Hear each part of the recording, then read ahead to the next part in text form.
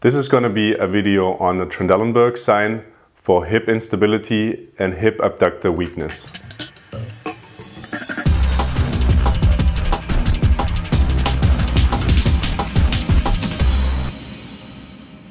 Ask your patient to stand on one leg.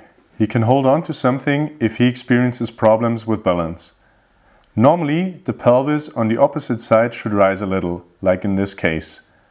If the pelvis on the opposite side drops, however, we are talking about a positive Trendelenburg sign, which can be an indicator for weak hip abductors on a standing leg or an unstable hip due to hip dislocation, for example.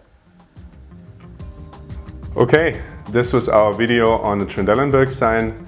I hope you enjoyed this video. If you did, give it a thumbs up and check out our webpage at physiotutors.com.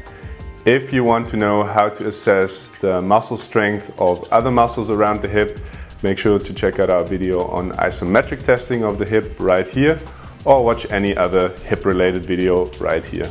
See you next time. Bye.